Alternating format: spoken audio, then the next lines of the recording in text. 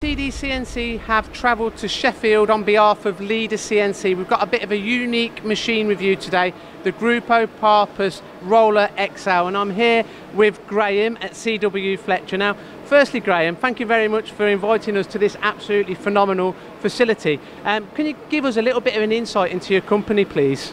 Well, CW Fletcher have been around for well over 100 years now, and uh, we're now in the, the aerospace manufacturing. We're subcontractors to aerospace as well as some nuclear. So we're looking at this particular machine today. What components are you manufacturing on this machine? They're basically aerospace aerospace rings for a, a major OEM. Now, when you were looking to purchase a particular machine to manufacture the engine rings, you know, what were your considerations and why did you choose this particular model?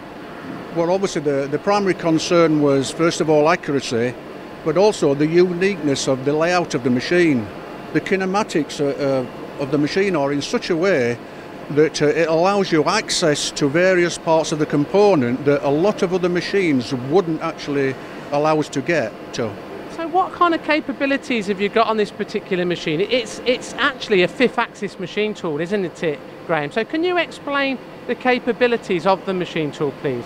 Okay, basically we've got um, we've got the normal the the X Y Z travels. We have about a two meter in X, about 1800 in Y, and a, a meter in Z, with a, a, a C-axis rotary table that rotates about the Z-axis.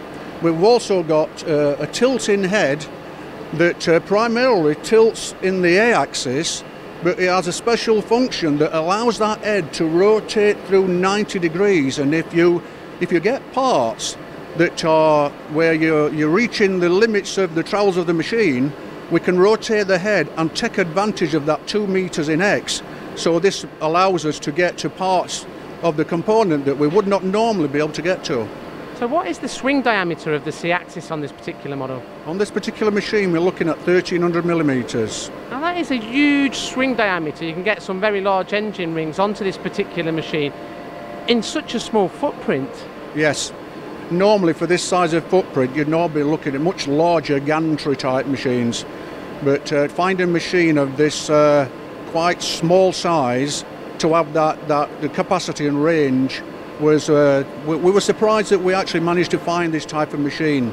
We looked at various competitors and there were other contenders, but when it came down to it, nobody could offer the solution without adding extra long tools or right angled heads to be able to, to be able to realise the tool vectors and get to the, the parts that we need to machine. So would you go as far as saying that this machine is pretty much made to measure for the kind of engine ring components that you're manufacturing here? It's ideally suited to the, some of the parts that we make. It's not saying that some parts we can machine on other types of machine, but certainly there are some parts that we now put through this machine where it'd be really difficult to, to achieve that on, on other layouts or kinematic layouts of, of machine.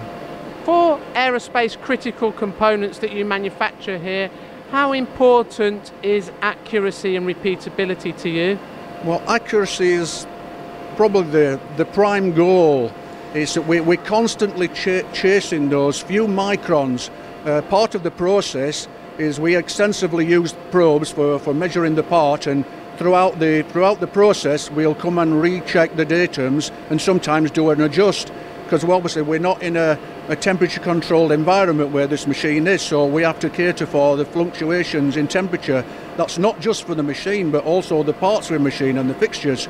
So yeah it's a constant battle trying to squeeze that extra few microns of accuracy into the into the part. But this machine is is coping with the accuracy that you demand I would say so, yeah, yeah. Now, this is a bridge style machine with the C axis and the tilting head, and you've got lots of capability with this machine, and you can actually rotate the head to get different perspective on the component. Is that correct, Graham? That's correct, and what's really clever in the way this machine's been set up, it's primarily an A axis tilting head. That is, it tilts about the X axis, which is the longest axis now, unfortunately, the, the axis that it, the plane that it tilts in, uh, is the what is the shortest of the x and y. Now, and the clever bit is when you rotate that head through an M code, the way the machine's been set up and the kinematic model inside the machine, if you were to write a, some code or a program for an A-axis machine, you rotate the head and internally it will do all the rotations and basically you can use it as a, B- a virtual B-axis machine without changing any code at all. So Graham, is it safe to say that this machine is pretty unique? Absolutely, absolutely. Now, I've noticed that you're using Heidenhain. How does that benefit you here at, CW Fletcher? In the majority of all our milling pieces of kit, we have Heidenhain controls. And once you're familiar with the, the Heidenhain environment, it's very easy for an operator to move from one machine to another. And you've got the familiarisation of how, to, how the datum tables work, how the tool offsets work.